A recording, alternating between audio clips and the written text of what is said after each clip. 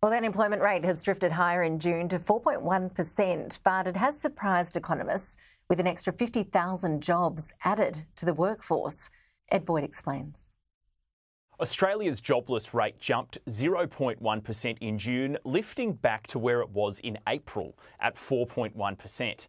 According to the Australian Bureau of Statistics, about 50,200 jobs were created during the month. This was higher than the 20,000 jobs economists were expecting. There are now about 14.4 million people employed in Australia and just 605,000 out of work. The participation rate, which is the percentage of people either in work or looking for work, increased to 66.9%, which is close to record highs. Hours worked lifted by 0.8%, or 15 million hours during June.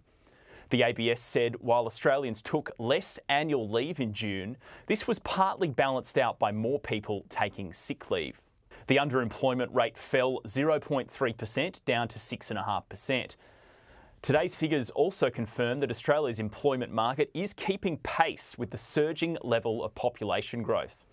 The employment to population ratio rose 0.1% to 64.2%, which is just 20 basis points lower than its record high.